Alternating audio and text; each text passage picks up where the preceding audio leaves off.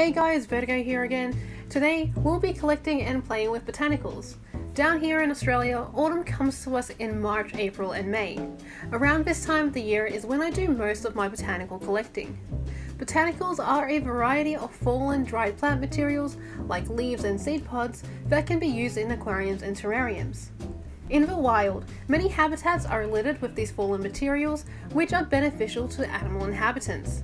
They can serve as foods for invertebrates, fungi, and bacteria, which break down dead plant material and turn them into detritus and soil. They also provide hiding places for many small, shy animals. And in the instance of aquatics, they leach tannins into the water, staining the water a tea colour and lowering the pH. While also providing a dark, calming environment for fish suited for blackwater habitats.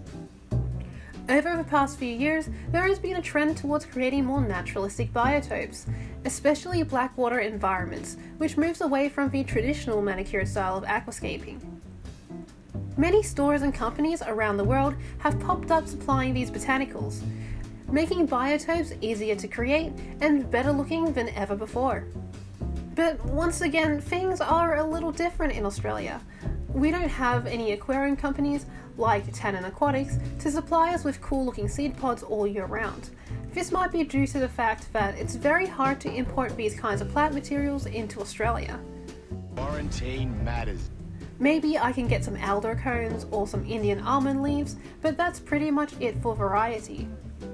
If I want interesting, varied botanicals, I have to collect them locally myself, and it proves to be a bit of a challenge Trees drop their leaves and seed pods seasonally, such as oaks and maples for leaves every autumn, and kurrajong pods every late summer.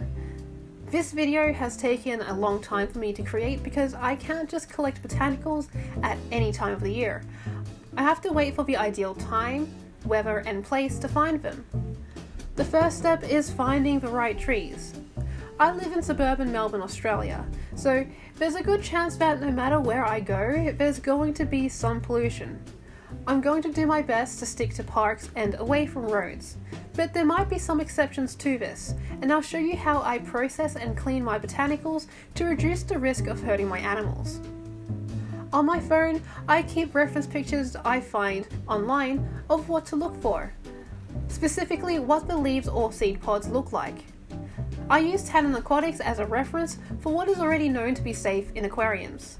This is my second year collecting botanicals, so I already know where to find most of my ideal trees, and I know that they're safe to collect from because I've been using them with my shrimp previously.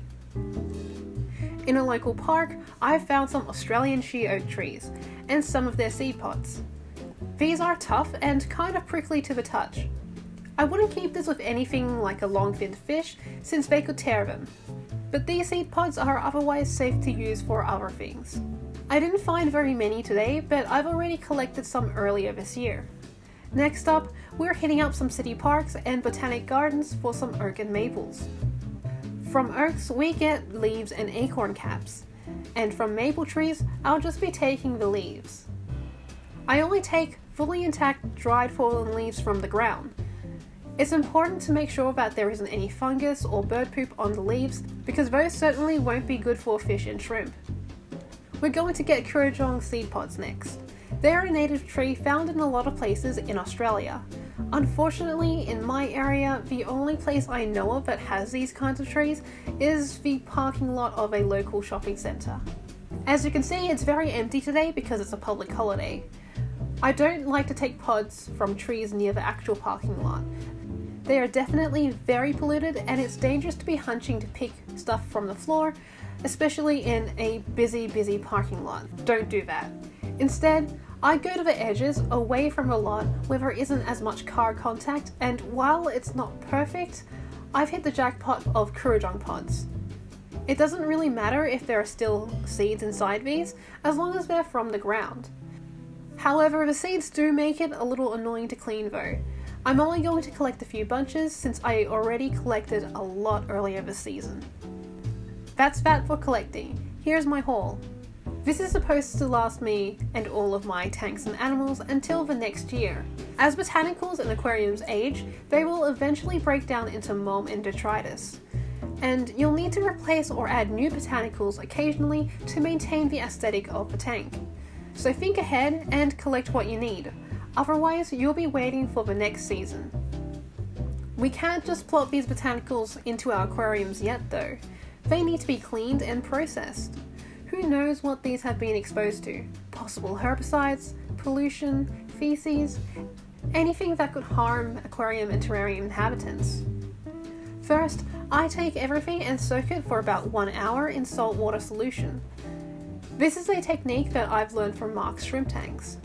I'll put a link to the video in the description about that. As he mentions in his video, this doesn't 100% remove everything from these botanicals, but it will remove most herbicide or pesticides if there are any present. After the one hour soak, everything is thoroughly rinsed out. I make sure to remove the seeds and inner lining of the Kurrajong seed pods, which is a really laborious process. My hands always hurt by the time I'm done with them, so I'm really glad I didn't get very many this time. Once everything is rinsed, it must be fully dried for storage. Depending on the weather, I dry them on a very low heat in the oven, which is about 75 degrees Celsius or 160 degrees Fahrenheit. But if there's a lot of sun and no rain in the coming days, I leave the botanicals out in the sun to dry. It's important that they are fully dry before storage. Otherwise, the leaves and pods will grow mold if they're slightly moist. I ended up drying most of mine in the oven. I had a lot more leaves than I had room to spread them outside, and the day was getting a bit late already.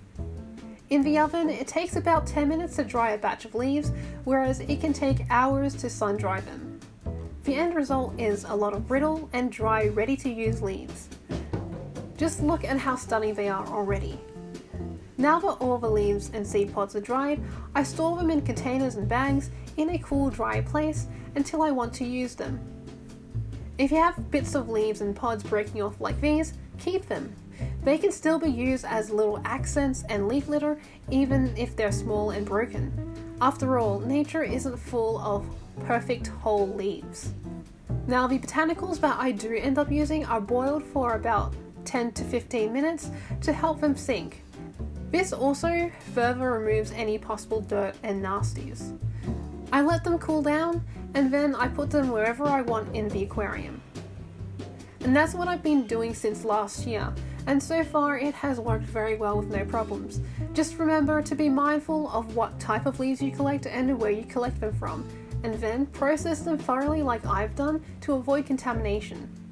If you happen to be in an area or country that doesn't have a commercial store that provides botanicals for pet use, all hope is not lost. Get outdoors and get collecting. It's great for your own health, and I'm sure your animals will thank you too. This has been Vertigo. I will see you next time.